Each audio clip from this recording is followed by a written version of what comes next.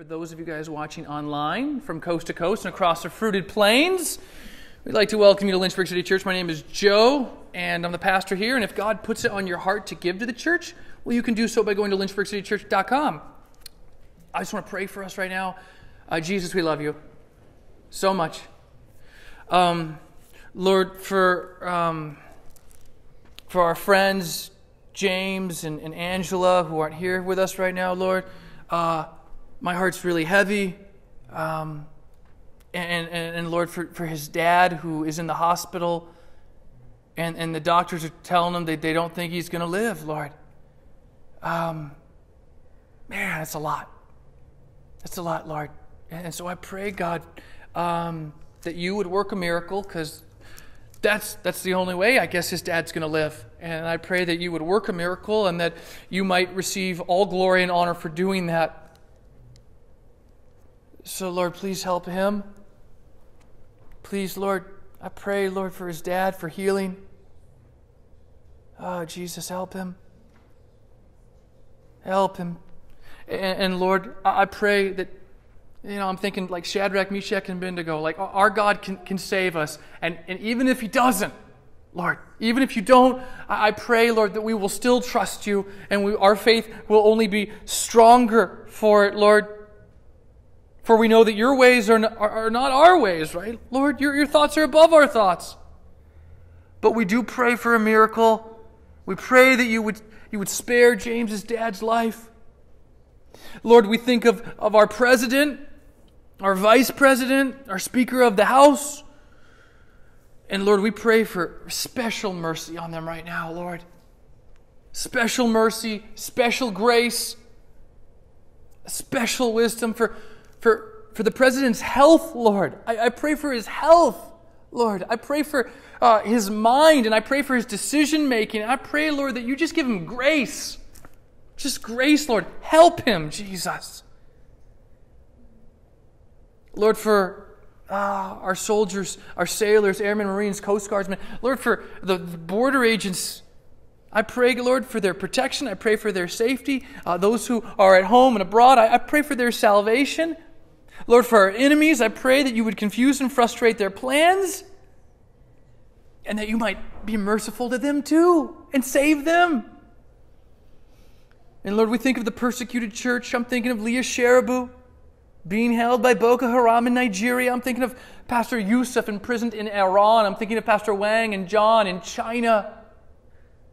I'm thinking of our brothers just dealing with persecution in Western Canada and Alberta. Lord, for the Christians in North Korea and, and Eritrea, in Nigeria. Jesus, help them. And we remember those who are in chains as if in chains with them. We pray that you would strengthen their faith, God, that you would provide for whatever their needs may be. And, and Lord, today, my prayer is that we'd hear from you. We want to hear from you, Lord. So I pray you'd free us from distraction. I pray that, Lord, you'd convict us where we need to be convicted. I pray you'd encourage us where we need encouragement, and that we'd hear from you, Lord. I pray you'd help me to say exactly what you want me to say. If there's something you don't want me to say, well, then don't let me say it, God. And if there's something, Lord, that I need to say that maybe I haven't even planned on saying, well, then give me a word. I pray for uh, a fresh anointing, Lord. And Lord, that you would give us ears to hear today. Jesus, we love you and we need you always. In your name we pray. Amen. Part two Genesis. Genesis chapter 127. We're picking up from where we left off last week. This is part two. Mm, it's going to be some journey, guys. Some journey. I think I was talking to Amelia, and she's like, I think there's a is there a possibility I might be married and have like multiple kids by the time we finish this? And I assured her, I assured her it won't be quite that long of a series. Um, but uh, but but uh, it, it's you know it's it'll be good. I think it'll be good. And today you picked a good day to come. I think uh, this was Man, this was encouraging to my heart this last week, so let's get into it. Genesis chapter 1, 27, starting part 2 of our series. So God created man in his own image. In the image of God, he created him. Male and female, he created them. And God blessed them, and God said to them, Be fruitful and multiply and fill the earth and subdue it and have dominion. Now remember that word dominion is very much linked with what it means to be made in the image of God. We talked about that last week. Over the fish of the sea and over the birds of the heavens and over every living thing that moves on the earth. And God said, Behold, I have given you every plant yielding seed that is on the face of all the earth, and every tree with seed in its fruit. You shall have them for food, and to every beast of the earth, and to every bird of the heavens, and to everything that creeps on the earth. Everything that has the breath of life. I have given every green plant for food. And it was so, and God saw everything that He had made, and behold, it was, notice, not just good, it's very good. And there was evening, and there was morning the sixth day. The idea of the Imago Dei, the idea of the image of God, this is now introduced a second time. We talked a lot about this last week. So much to talk about, which is why we're going to talk about more about the image of God this week. And there's a lot of talk today about uh, equality. That's a really hot word, really, really buzzword. When you hear the word equality, you might think good, you might think bad, you might be indifferent. But this is a lot about equality. While the word's not mentioned directly, um, the fact that God made them men and women and He made them both in the image of God, it's, it's pretty clear like this issue comes up. And today, when we think about equality, what usually gets brought up, and it could be equality of economics, right? We want equal outcomes. And some will say, well, no, we want equal opportunities. But the equality within the context obviously has to do with people. And, and you should understand that I am operating from a, very much a biblical uh, world view. No shocker there. Uh, at least I hope it's not. Probably would be a shocker, I guess, in some churches today. I guess it just depends on which one you're going to. But, but equality. Um, equality among the sexes. So I'm going to operate that there's two sexes, there's two genders male, female, XX, XY. That's it. Not because I'm, mean or something, just because that's what the Bible says. Okay? I don't, I don't, I don't want to be a jerk because sometimes, sometimes we like, there, take it, right? But that's what, that's what God says. I'm not trying to play fast and loose with the text. I try to be a very strict textualist. That's just what it says.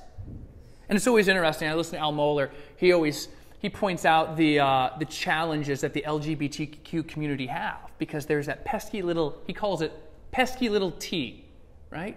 Because you have gay, you have lesbian, you have bisexual. Think about bisexual, right? I desire someone who is what?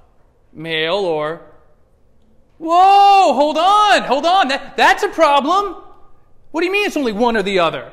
And you can see even that that's, that's what happens today, right, with equality. It's, it's no matter how liberal you are, you're never liberal enough. If you're liberal today, tomorrow you're conservative. And, and inevitably, they end up eating their own course, in the name of equality. And we see this especially even within female sports. We see the strong feminist movement ultimately just being devoured, okay, where now you have men participating in female sports. But we call it equality. We call it equality. So how should we how should we think about equality? Well, we should think about verse 27. In fact, I've heard Piper say this many times. The greatest statement of equality in the entire Bible is found in verse 27. So let's look at it.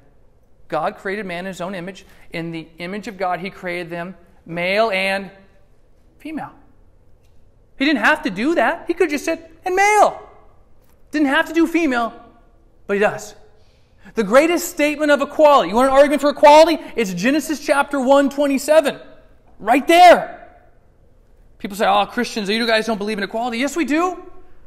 Maybe not the equality that you want, but we, we very much believe in equality. God made them man and woman, and He made them both in the image of God. And uh, that is the greatest statement. But we also know that God, while the genders are equal, because we have this statement of equality, He also made us different. He is different. And, and we believe here at Lynchburg City Church in uh, a biblical view of what's known as complementarianism. That while we're equal, the sexes were made to complement each other. Okay? We're made to complement. So God has certain roles for our genders. And I'm thankful. I'm thankful that one of my roles is not to have a baby. I just prefer not, I just, I, I don't like pain, guys. So I am thankful. I am thankful that there are different roles, but we complement each other. Like tag teaming this up. And, and, it doesn't take a rocket scientist to see that, that, that we're made equal but different. I mean, just look at little kids for a second. You get a bunch of little, little girls together, what are they going to do? They're probably going to go in their room and have a tea party. Okay, that's what little girls do. We get a bunch of little boys, you know what they're going to do? They're going to go raid that room and shoot the little girls. That's what little boys do. They're going to go shoot the girls. So, so we're made equal, but we're also made different. And different's not bad. See, see, today in our culture, what our culture does is our culture encourages women to act more like men, and it encourages men to be more like women, and then it labels that quality, and oh, by the way, if you don't comply, then it's called toxic. So, so at, the, at the end of the day, we, we have to submit ourselves to some authority. And the challenge that uh, the church deals with is the culture is constantly trying to seep into the cracks of the church. It is. So, so we really have to make sure am I thinking biblically on this? Because the culture will say, well, if, if you don't agree with us, well, you're a racist or you're not compassionate. Well, I don't, I don't think that's true. But what happens is, even among Christians, we feel that pressure, right? That peer pressure. And then we end up submitting ourselves not to the authority of the Bible, but we end up submitting ourselves to some other authority. At the end of the day, guys, you're either submitting yourselves to the authority of the Bible, even if it's not popular with what culture says, or you're submitting yourselves to the culture or some other made up version of what is right and what is wrong. Oh, the greatest statement of equality is right here in Genesis chapter 1, 27. God created man in his own image. In the image of God, he created him, male and female, both of them. Didn't have to do it like that, he did. Both men and women are made in the image of God. They're both equal, but they're different. They have different roles. They complement one another. Well, we continue. Chapter 2 now, verse 1. Thus the heavens and the earth were finished, and all the host of them. And on the seventh day, God finished his work. Notice that word work that he had done, and he rested on the seventh day from all his work. There it is again, that he had done. So God blessed the seventh day and made it holy because on it God rested from all his work. There it is again, that he had done in creation. Work, this idea of human labor, um, is given this highest nobility it's viewed as a good thing. Work is a good thing. Now, we might not always like work, but work is a good thing. God made work. And, and this can, once again, be confusing because the culture will say, eh, work's not good. Why should you have to work? Universal basic income. You get paid, you get paid, you get paid. I don't care if you work. And so the culture very much has created this idea that work is bad. We should resist it. But that's not what the Bible says. Bible doesn't say that. God did this work. And it is pictured here as a good thing. Guys, we were made to work. We were made to work. I understand. Sometimes it's not fun, okay? And this is part of the result of the curse. We haven't got there yet. It's not always fun, but we were made to work. It's not a bad thing uh, by, by any means whatsoever. And we go on, and it says this. It says, notice what he says here. What are we talking now? Rested. Because on it God rested. So, verse 3 God blessed the seventh day, He made it holy. On that day, the seventh day, God rested. And He rested from all His work that He had done in creation. Now, um, I have the Hebrew word right here for rested. Right there. So, so the word rested means to cease, to desist, or to rest. And the reason I want to put that up there for a second is because when we see rested, well, it kind of can be kind of confusing. And, and, that's why I wanted you to see some of the other meanings of rested, which means cease and desist. I think it's probably those first two that, that best convey the idea. In other words, it doesn't mean that, oh man, God rested. He, he was really tuckered out from all that work. Like, oh man, you know, I could go eight day, but now we're just going to call it seven. No, like that, that would suggest some type of deficiency. Okay? He's not deficient. Not at all. So, so rested is, is best understood as really, uh, here's what I'd say the cessation of creative activity. The cessation of creative activity. It has the same sense, of course, when you get to Genesis chapter 8, 22, when it, in the post-diluvian era, when it talks about the, the times and the seasons, they're never going to cease, right? So God is ceasing from creative activity. And he does it on the seventh day. And God blessed the seventh day, and God made it holy. He blessed it, and he made it holy. And, and here what we have is we have this introduction to the theology of the Sabbath that is mentioned right here, which is a reminder about work. And, and when, I, when we talk about the Sabbath, the Sabbath is not this idea of aversion to work, but rather it's celebrative in nature. It's celebrative that the cessation of the completed work, right? We, we look back, we're like, wow, look at all that work I did. Wow, that's what's happening. It's not, it's the Sabbath, and we hate work, but look at this. Look what God did. The text told us back in verse 31, and it was very good. Work is good. And so this theology of work is introduced here. God blessed the seventh day. And, and the question comes up then when, it, when we talk about the Sabbath is well, do we still observe the Sabbath or don't we? How, how should we think about this? And we, we addressed this, I don't know, a few months ago back in Acts, I think. Maybe not quite that long. But I think it's worth mentioning again, since we're in Genesis now. How should we think about the Sabbath? Is this something we need to observe? Are we wrong for not observing it? And these are some considerations I'd, I'd, point out. And the first thing I'd point out is this. And if you're taking notes, i am just going to kind of give you bullet points boom, boom, boom. Number one, although a day of rest and worship is very much demonstrated here in uh, creation, in Genesis chapter 2, that the Saturday Sabbath, it was given to Israel as a sign of the Mosaic covenant. Exodus 31, 16 to 17 affirms that. So keep that in mind. Number two, there is no command in the New Testament, in the New Testament, for Christians to observe the Sabbath. No command. I, I look, not a command. Number three, even in the Mosaic era, okay, in the Old Testament, it neither commanded the Gentile nations to observe the Sabbath nor condemned them for failing to actually do so, which would seem to indicate that it was mainly for Israel. Number four, Jerusalem Council, Acts 15 been a while since we were in Acts 15, but in short, Acts 15, the council got together. They're like, this, we got this new thing called the church. How is this going to work? We've got Jews and we've got Gentiles. And, and how are they supposed to hang out? How are they supposed to have meals together? How are they supposed to have fellowship? The Jews have all these different like rules and regulations. So they're like, all right, maybe if here's what we'll do. If the if the Gentile Christians are at least able to do X, Y, and Z, I think we can make this work. I think that will allow for the Jewish Christians who maybe have stronger convictions to still be able to hang out, to sit down, to have a meal together. But you know what's interesting in the Jerusalem Council?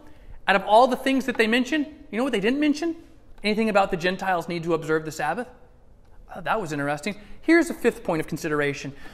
The Apostle Paul warned the Gentiles about a ton of different sins in his epistles. A ton of different sins. You want to know one sin he never actually warned them about? Sabbath breaking. Not one time. Number six, for consideration, Colossians chapter 2, 16 to 17. Colossians 2, 16 to 17. It actually describes the Sabbath as a shadow, a shadow of Christ. And, and the shadow is, is no longer binding on us since the substance, that's Christ, Christ is the substance of the shadow since he's come. Seventh point for consideration, Galatians chapter 4, verse 10 and 11. Paul's going to rebuke the Galatians for thinking that God expected them to observe all these special days including Sabbaths.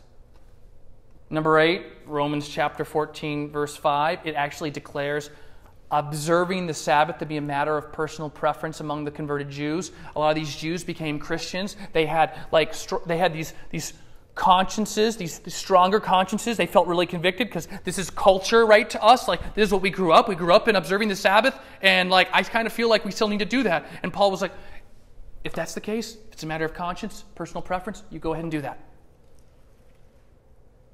Number nine, in the book of Acts and all the subsequent writings of the early church fathers, it makes it clear the church gathered on Sundays. Sundays, not Saturdays. The, the, early in the second century, the early church father Ignatius, this is what he wrote Let every friend of Christ keep the Lord's day as a festival, the resurrection day, the queen and the chief of all the days, the Lord's day, the first day of the week, Sunday.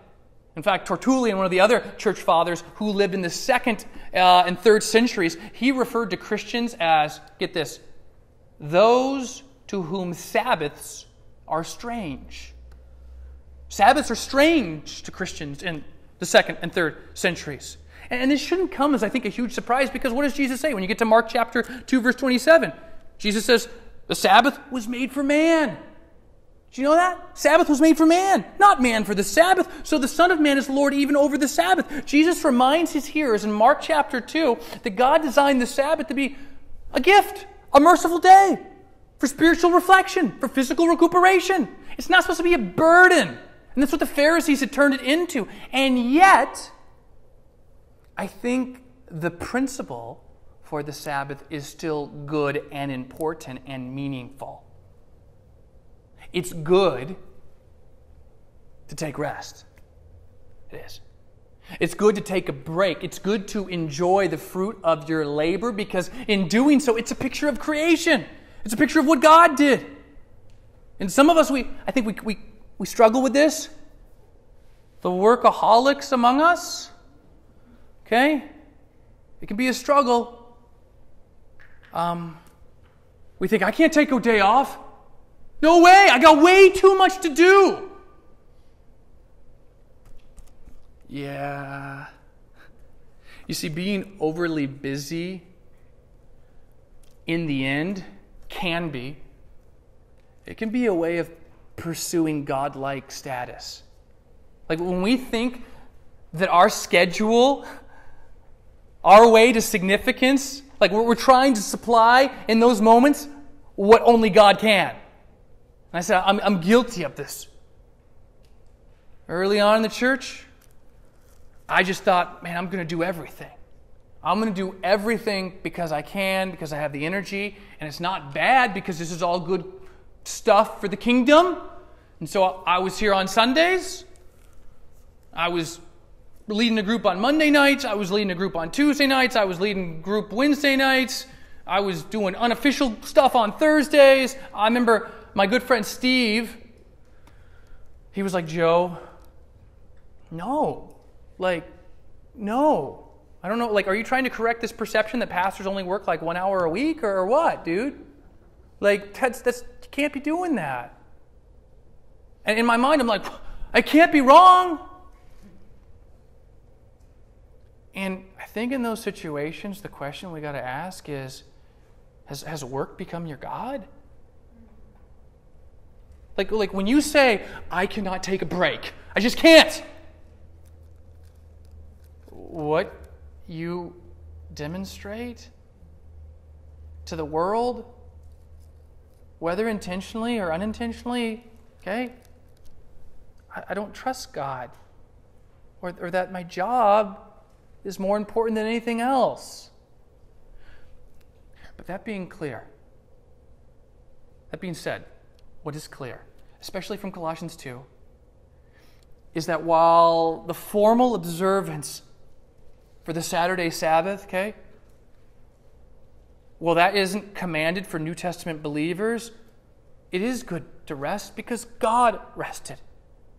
And we want to mirror what, what God does in word and deed, and God's good. So it's good for us to rest. It's good for us to, to cease from work, from activity. But the truth is, truth is that looks different. And I want to, I want to mention this because I'm the type of person um, and I think I've been this way as long as I can remember.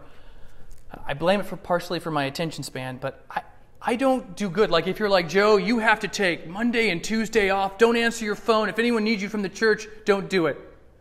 That would be like torture for me. I would absolutely hate that. And someone might, I remember early on there was a guy and he told, he told me that at the church. He's like, you just need to have two days a week, Monday, maybe Monday, Tuesday, because Pastor works. You just can't, just don't. I'm like, dude, like if, if you want to stick that to me, like that's not going to be restful. Like I'm going to hate my life for those two days. Like I like I, I like I just I can't do that. He's like, all right, so then we need to figure out something out. I was like, okay.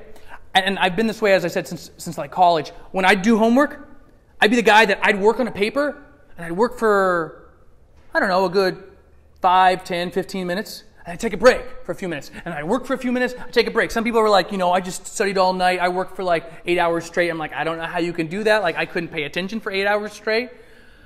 So I just worked in spurts. And so what I do is I, I take rest in spurts. Some of you are like, you know, every time I come over to talk to Joe, he's usually like just laying down on his couch. Man, that guy's super, that guy's super lazy. Like he's always laying on his couch. No, no, what I'm doing is I'm, I am mentally and physically resting as I get ready to go into this counseling session. That's what I'm doing, okay? So, so I, what I do is I build like little periodic rest through every day of the week. That's just how I like it. That's how I like it. You know what I love doing? I love going to play hockey Wednesday nights. That is, oh, man, that's good. That is good stuff. You say, that doesn't count. That can't count. What do you mean it can't count? Some of you, the most restful thing is to go in your garden and just work in your garden. Some of you, the most restful thing is to have a bunch of people over to your house. And some of you, some of you other guys want to just throw stones and be like, nope, can't count that. Nope. Dude, chill out. Like, it's, see, that's the thing. It's not about legalism. It's not about legalism. It's about rest. It's about enjoyment. And it's very much a conscience issue. You have permission to take time off. You have permission to take a nap. And sometimes we feel bad if we like let our hair down. You don't have to feel bad if you let your hair down. Like, like just as just as Eve was created so that man wouldn't have to live alone, as we'll see, the Sabbath was created so that man wouldn't have to live exhausted. Okay? And so whether you take this day off or you build in like I do, I just build in like little like rest moments every single day. That's okay. And see, this the Sabbath, like all the rest of the law, it finds its ultimate fulfillment in Christ. It's meant to point us to Christ as our great rest, as our great salvation. I mean, Jesus says, Matthew 11, Come to me, all you who are labor. I'll give you rest. The world's looking for rest. I'll tell you what, no amount of Netflix and chill is going to solve their problem at the end of the day. It's just not. A Sabbath rest, then, or the principle from it, becomes a regular reminder that we're not God. It becomes a regular reminder. In those moments where you're like, I, am going to lay down, I'm going to take a nap for 45 minutes. It's okay because guess what? The world is going to keep going for the 45 minutes that you're asleep.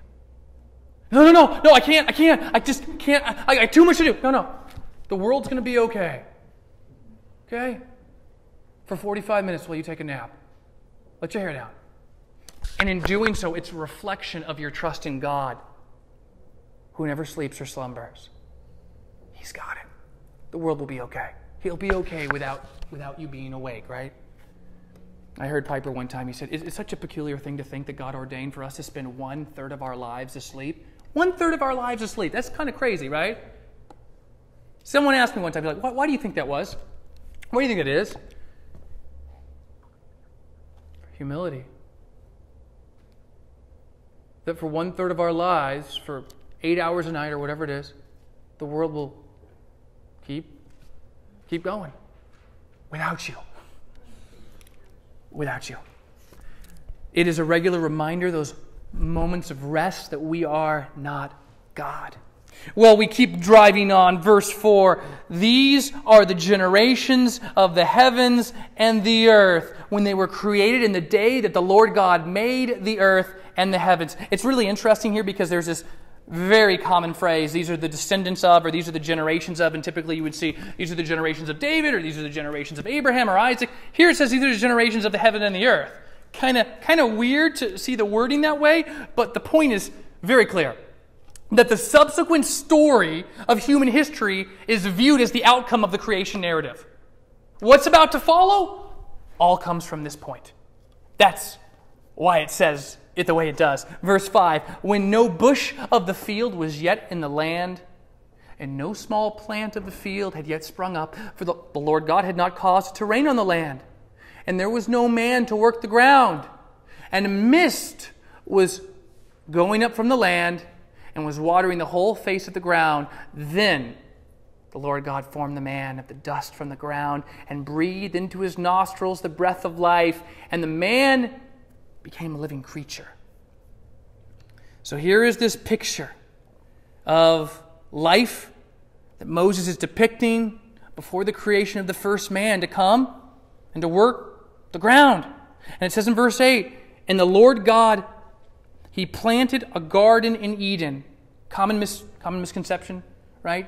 Eden's the name of the garden. Actually, Eden is the name of the region. The garden is in this region called Eden, right there, verse 8. In the east, and there he put the man whom he had formed. And out of the ground the Lord God made to spring up every tree that is pleasant to the sight and good for food. The tree of life was in the midst of the garden, and the tree of the knowledge of good and evil. So here's this place, and uh,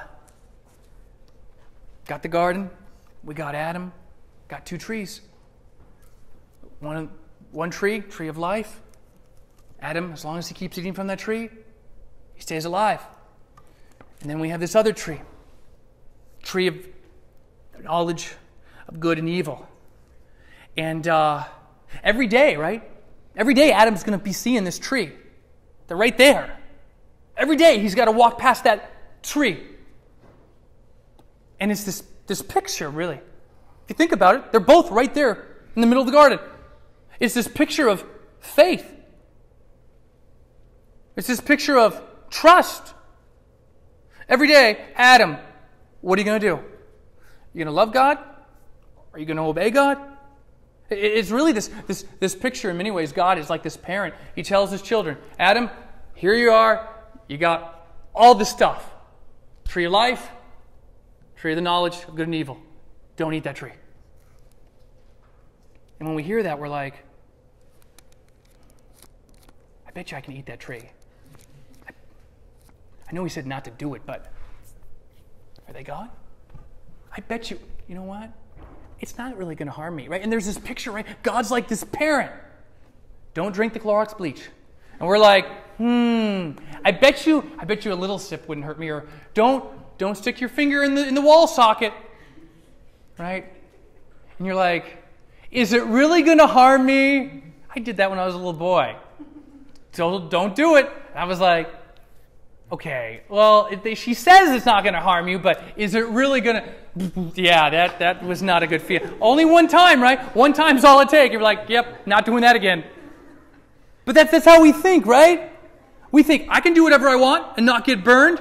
We're like, you're not the boss of me. I'm an adult. I went to college. I'm a second semester freshman. you know those people, right? And, and God, God, God's like, God's a good God, right? I mean, think, think about God. He's not trying to be a buzzkill. He's a good God. I mean, He made the earth. He made the animals. He made the garden. Heck, He's about to give Adam a naked woman. Like, He's a pretty good God. He is. And every day, Adam, he's got to like make a choice. Like every day, he's got to make a choice. Am I going to choose to obey God? Or am I going to do my own thing and sin? Like every day, every day, he's seeing these two trees, right? And here, here's the realization, right? Whatever that temptation is, one thing I think we see, because whatever that temptation is for you, because we all, we all have those, those things, pride is so often the root of so many of these problems. And we think, I can cross the line, right? I, eh, is it really going to hurt me? I can, I can, I can just bend, the, I can bend the, the limits a little bit. I know, I know I'm not supposed to. I know God said not to. But is it really? I mean, if, you read this story, you know that's the thought process that's going to go through their minds. And, uh, and that certainly is a thought process that goes through ours in those moments. Well, verse 10 uh, a river flowed out of Eden to water the garden. So there's a river coming through the garden, and there it divided and it became four rivers. So it's one river that goes through, it splits off, it goes four. The name of the first is the Pishon. It is the one that flowed around the whole land of Havilah, where there is gold. remember when I met Havilah? It was like, oh, that's a, that's a very ethnic name that you have. Um, I actually found out before the service, she didn't actually have a name for like the first couple days. True story, right? But, but this, is, this is why she's called Havilah, in case you're wondering. But here's Havilah. Here's the land. There's gold there. And the gold of that land, it's good. Bdellium and onyx stone are there. And, and the name of the second river is the, the Gihon.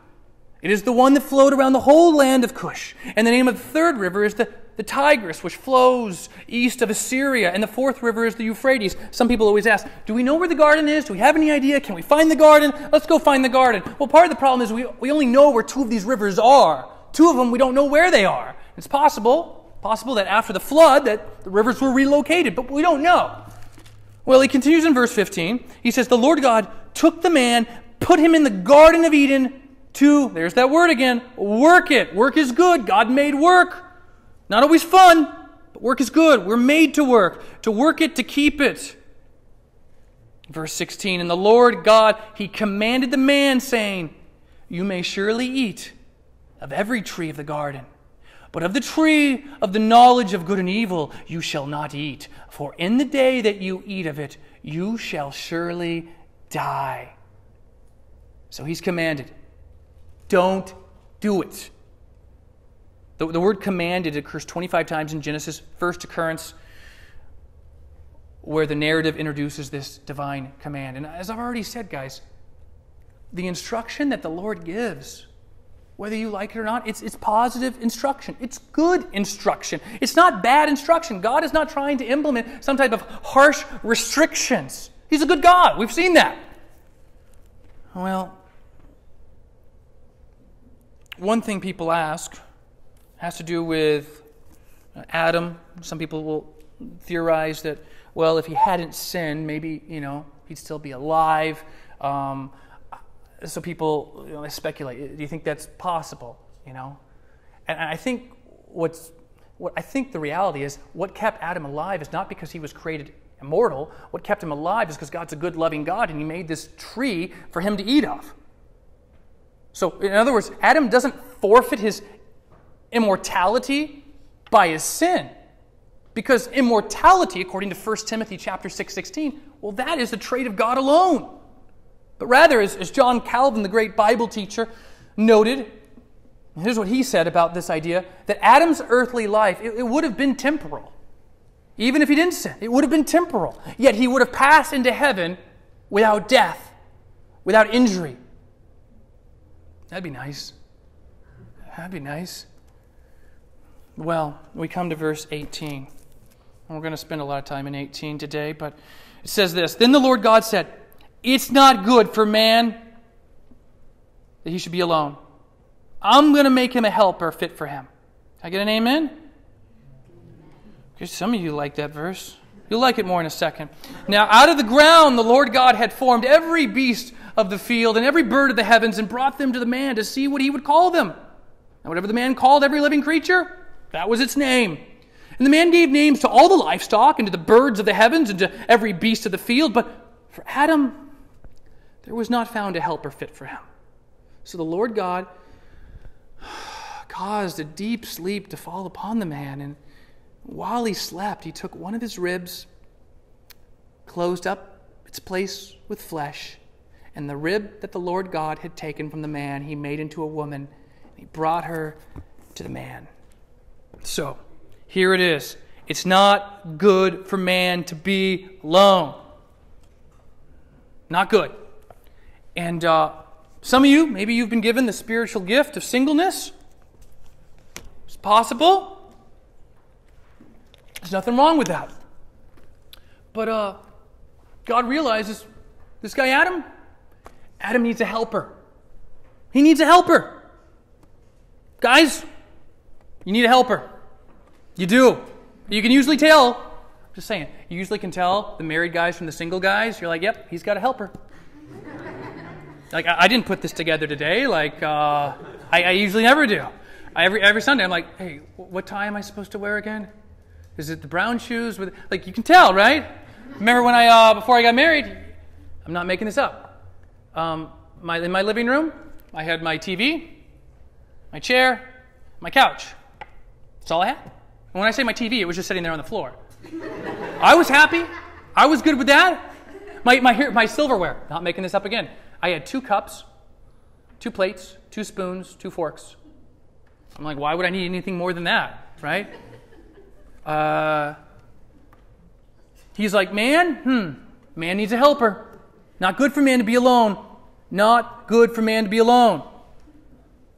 And uh, it's good for us, guys. It's good to find a helper. In fact, I'd say when you do find a helper, it's foolish to not consult your helper. A lot of guys, really foolish guys, right? They don't consult their helper. They're like, hey, babe, what's that? Brand new truck. Huh? You didn't tell me about that. No? Was it was I supposed to?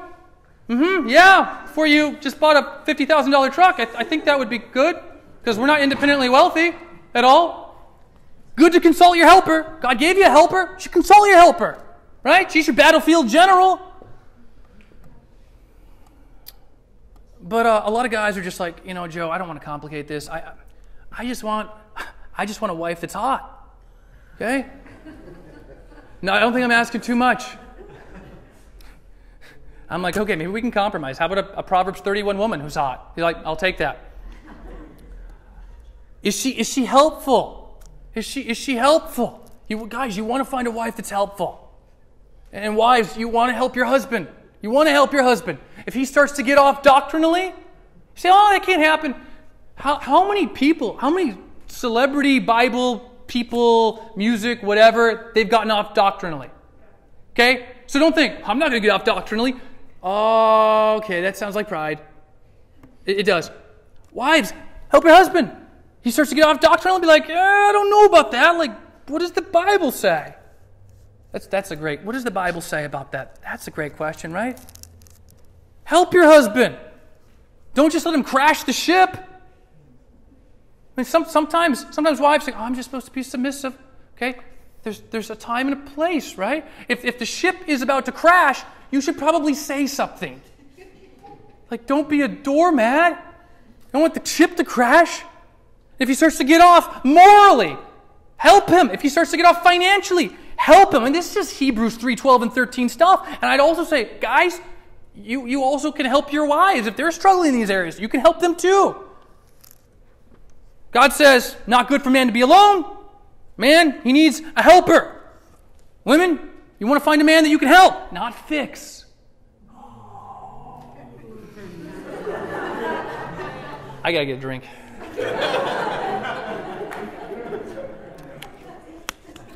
Please do not confuse this. A lot of women are like, well, yes, he, he has a drug addiction and, and a porn addiction, and he lives with his parents, but he's trying like really hard, Joe. Help, not, not fix. Okay? You're, supposed to help him, not, not fix him. And, and there are a lot of girls who I think are well intentioned and they make excuses for a lot of little boys. You're, you're his helper. You're not there to fix him. I don't care how much potential he has. And so, so what does God do? Adam, it's not good that you're alone. I'm going to make you a helper. Now, we don't know what Eve looked like. Bible doesn't say. Um, but compared to the other options out there, there's a goat. I mean, the, I, no, pass. Right? Uh, there's a horse. Yeah, I'm going to pass. Okay? I mean, compared to the other options, okay, I imagine she was looking pretty good. But, but we live in a world where, we live in a world, here's the reality. We live in a world where sometimes there's just too many options. Like, too many guys are like, they, they're the guys, and they, they have the, the wife of the imagination and these really unrealistic standards. What, are you looking for? Ah, you know, I'm looking for like the swimsuit model slash homeschool mom who speaks Latin. oh, anything else? Because like she she doesn't exist, and and if she does exist, like she's not going to be into you because she probably has way too many other options. Just just like that's what it's like, right? So so many guys today, so many young dudes are like this wife of the imagination. What, what should she look for? She look for a helper. Does she love Jesus? Is she a helper? I want that. And, and also, you guys, you got to understand that, that not all women, not all women are great. Proverbs talks about this. Some women they're like they're like crowns, and some women are like cancers. You don't want cancer. Okay, you don't want that. Like the goal isn't just to get a wife. The goal is to get a helpful wife. You say, Joe, I found a girl. Is she helpful? No, but she's hot. She's hot. Okay, guys, so is hell.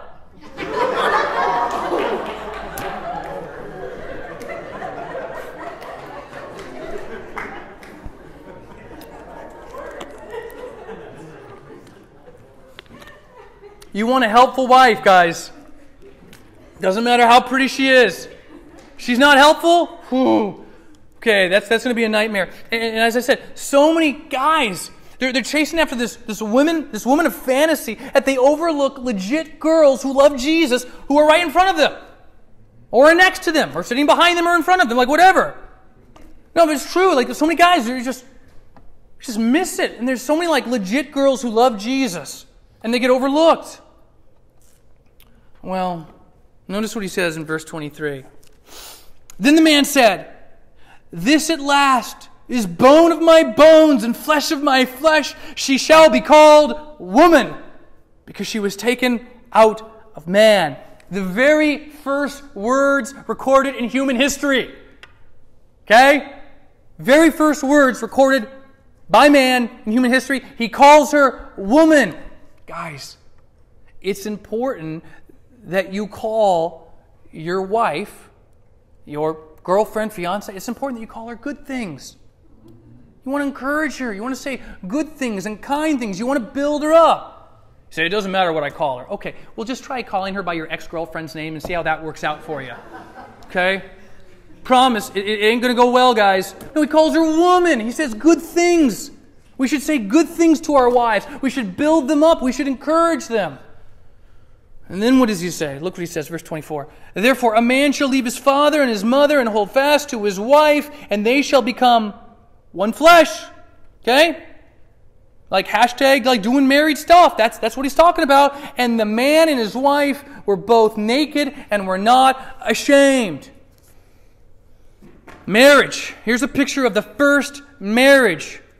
And if there was a hashtag that I could drop right here, it would be responsibility.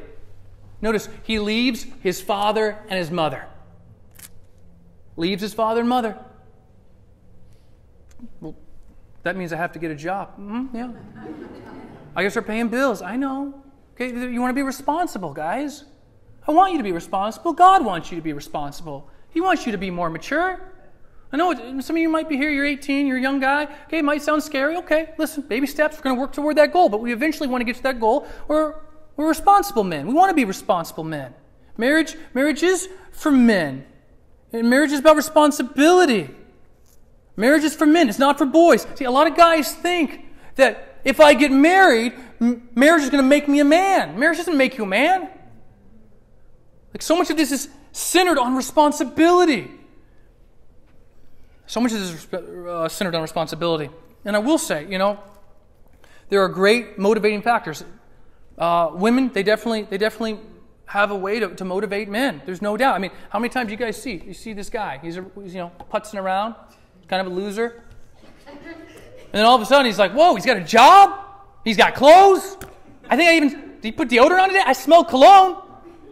What, what happened? He met a girl. Okay. Like, like women have a way to motivate guys. And they move heaven and earth. Like, it's good. It's good. Uh, girls, find a guy you can help, but that you don't have to fix. Uh, a lot of girls, when, when it comes to this, right, they, uh, they, they usually go one of two ways, right? Um, on the standard. They go so far this way or so far this way. Like, for example, this is, right? Some girls, like, their standards are so unrealistic that there's, like, legit dudes who love Jesus, good dudes, the guys that are taking responsibility, growing in holiness, loving Jesus. And she's like, well, I mean, I'm really looking for like minus like four to five percent body fat, so that doesn't work, right? So like, no, like some girls, like their standards are so high. I mean, Jesus could come by and be like, hey, would you like to hang out? And she's like, I'm not really into facial hair. and, and then there's the other extreme, right? And, and, the other extreme is like the standard is like so low. It's like, like oh, man, uh, as long as he's breathing, I'll go out with him. Right? I mean, it doesn't even matter. And it's like you smell that. It's like, that is desperate. Like I don't know. That's that's what that is.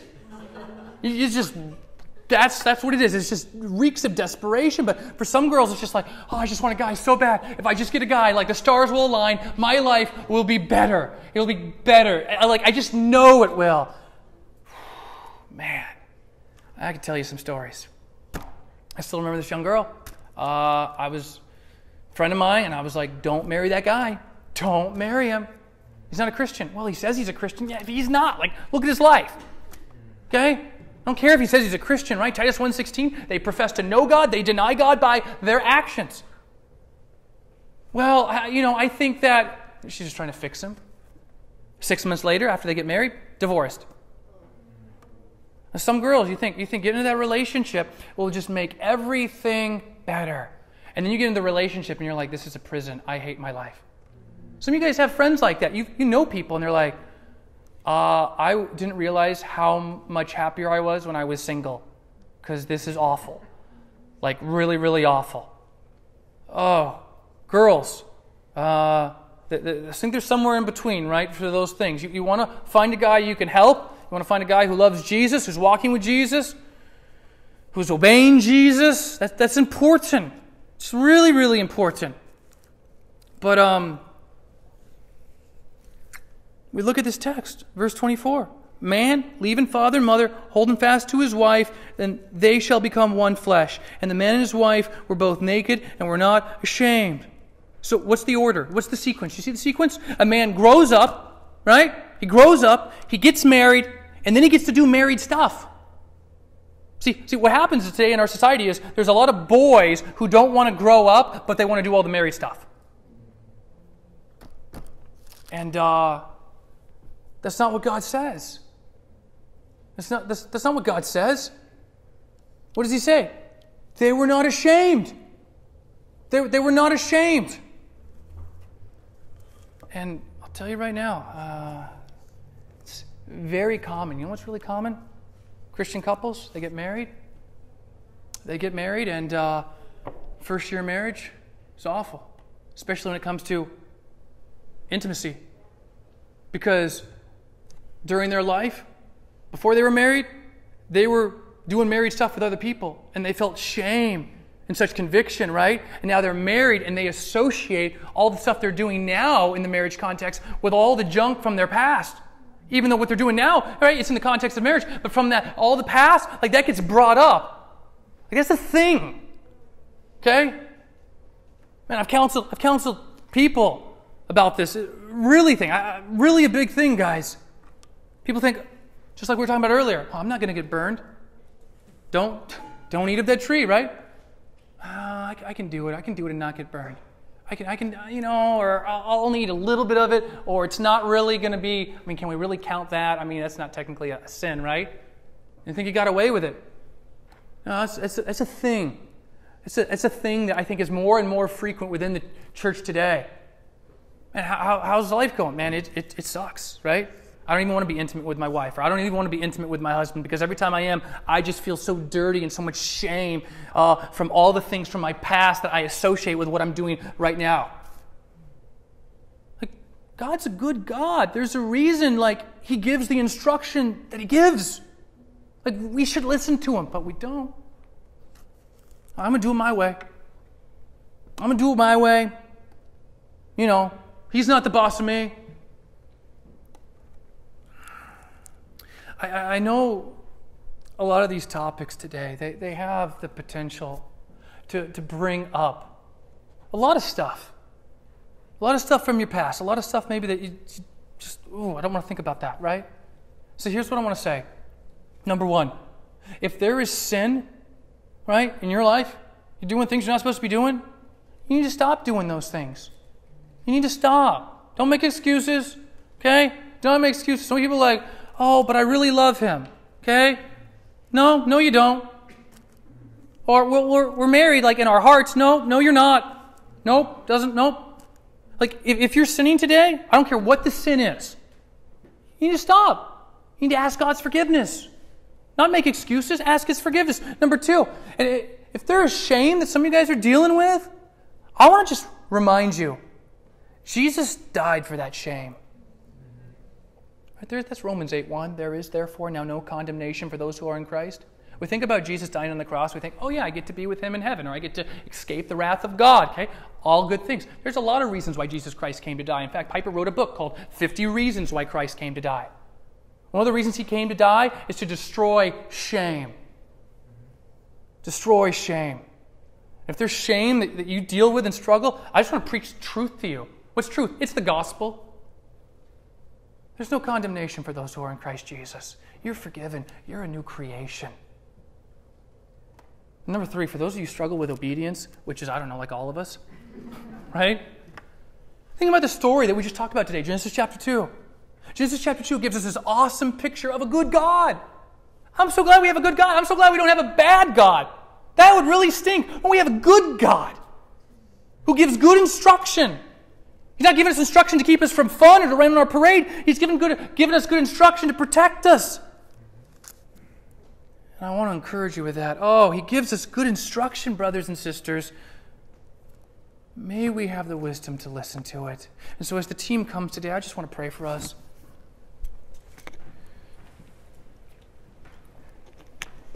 Jesus, we love you. And we thank you that you are a good, good God.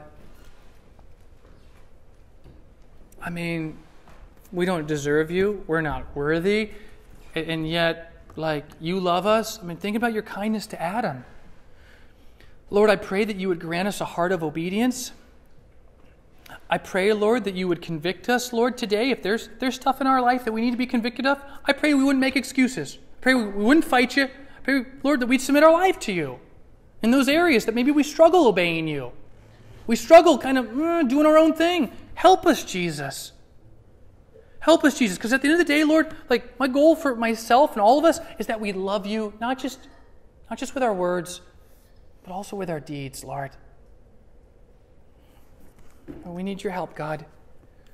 This is hard, Lord. It's really hard. And so, Lord, we join with the, the church father, Augustine, as he would say and pray so often Lord, command what you will and give what you command. Lord, command what you will. We've seen what you've commanded. We just read this. Command what you will. Okay. And give what you command. Lord, enable us to do the things that are so hard sometimes to do. Help us, Jesus. In your name we pray. Amen.